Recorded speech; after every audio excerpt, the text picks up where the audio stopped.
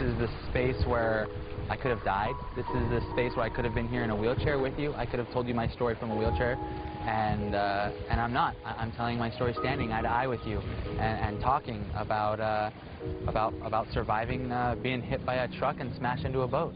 Joaquin's best friend, who now lives in Kansas, was driving that truck and relives the moment he accidentally crushed his best friend. That day was probably um, one of the worst days of my life. It's extremely difficult to watch your best friend and somebody that you love and care about that much go through something to that magnitude and be knowing the whole time that you're the one that caused that event to happen. Standing here, I had the boat in my hand, and I kind of barely looked over my shoulder to the roar of the truck engine. The truck hit me directly in the back. It picked me up and slammed me into the side of the boat.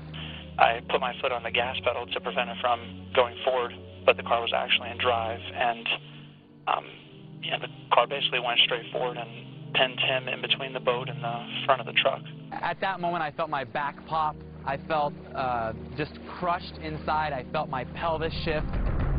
That that that pain is, is, is that's indescribable. I mean, indescribable.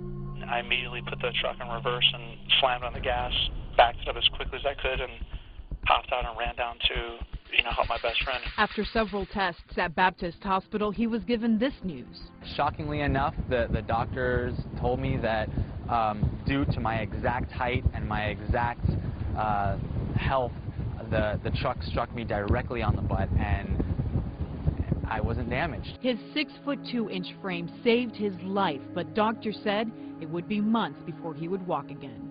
In a way, I didn't want to hear it, and in a way, I, I chose never to hear that. He turned to Dr. Martin Grossman, a chiropractor. He was still using a cane at the beginning.